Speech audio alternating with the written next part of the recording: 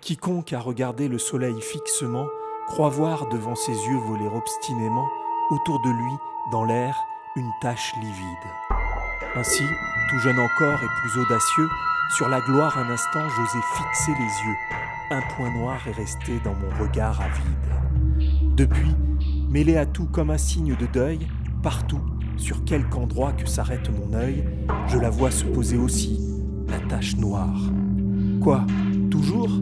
Entre moi sans cesse et le bonheur.